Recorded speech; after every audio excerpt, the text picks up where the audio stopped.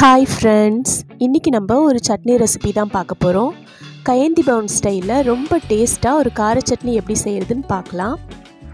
வீடியோக்கு போகிறதுக்கு முன்னாடி நீங்கள் நம்ம சேனலை ஃபஸ்ட் டைம் பார்க்குறீங்கன்னா நம்ம சேனல் சுமிதா சிம்பிள் சமையலை சப்ஸ்கிரைப் பண்ணிக்கோங்க.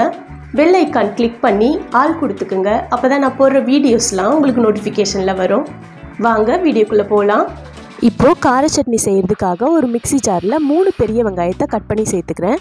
நீங்கள் சின்ன வெங்காயம் சேர்த்து செஞ்சாலும் நல்லாயிருக்கும் நீங்கள் சின்ன வெங்காயம் சேர்க்குறது இருந்தால் ஒரு இருபது போல் தோளுரிச்சி சேர்த்துக்குங்க. நான் மூணு பெரிய வெங்காயத்தை மிக்சி ஜாரில் கட் பண்ணி சேர்த்துக்கிறேன். அதே போல் நாலு தக்காளியை கட் பண்ணி சேர்த்துக்கிறேன். தக்காளி காயாக இல்லாமல் நல்லா பழுத்த பழமாக பார்த்து சேர்த்துக்குங்க. இப்போ இதில் ஒரு நாலு பல் பூண்டு சேர்த்துக்கிறேன். நான் தோல் உரிக்காமல் அப்படியே சேர்த்துக்கிறேன். இதில் ஒரு நாலு காஞ்ச மிளகாய் சேர்த்துக்கிறேன். ஒரு அரை ஸ்பூன் அளவுக்கு சீரகம் சேர்த்துக்கலாம்.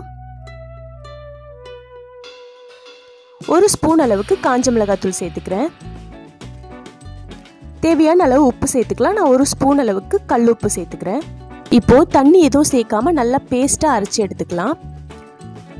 இப்போ இந்த அளவுக்கு நல்லா பேஸ்ட்டாக அரைச்சி எடுத்துகிட்டு வந்தாச்சு. இப்போ இந்த சட்னியை அரைச்சதுக்கப்புறம் தான் தாளிச்சிட்டு வதக்க போகிறோம் இப்போ தாளிக்கிறதுக்காக ஒரு அஞ்சு ஸ்பூன் அளவுக்கு நல்லெண்ணெய் சேர்த்துக்கிறேன். இந்த சட்னியை நல்லெண்ணெயில் தாளிக்கும் போது டேஸ்ட் ரொம்ப சூப்பராக இருக்கும்.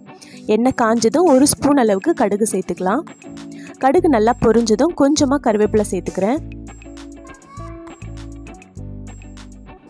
கருவேப்பிலை நல்லா பொரிஞ்சதும் நம்ம அரைச்சி எடுத்துகிட்டு வந்த சட்னியை சேர்த்துக்கலாம்.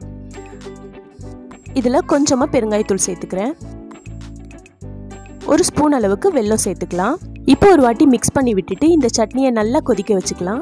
இந்த அளவுக்கு நல்லா கொதி வந்ததுக்கு அப்புறமா ஸ்டவ்வை மீடியம் ஃப்ளேமில் வச்சுட்டு ஒரு ரெண்டு மூணு நிமிஷத்துக்கு இந்த சட்னியை அப்படியே விட்டுடுங்க. கொஞ்ச நேரம் திக்காகட்டும் அதுக்கப்புறம் ஸ்டவ் ஆஃப் பண்ணிடலாம்.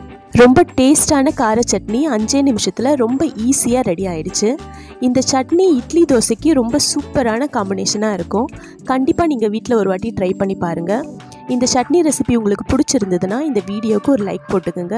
நீங்கள் நம்ம சேனலை ஃபஸ்ட் டைம் பார்க்குறீங்கன்னா நம்ம சேனல் சுமிதா சிம்பிள் சமையலை சப்ஸ்கிரைப் பண்ணிக்கோங்க. பெல் ஐக்கான் கிளிக் பண்ணி ஆள் கொடுத்துக்குங்க. அப்போ தான் நான் போடுற வீடியோஸ்லாம் உங்களுக்கு நோட்டிஃபிகேஷனில் வரும். தேங்க்யூ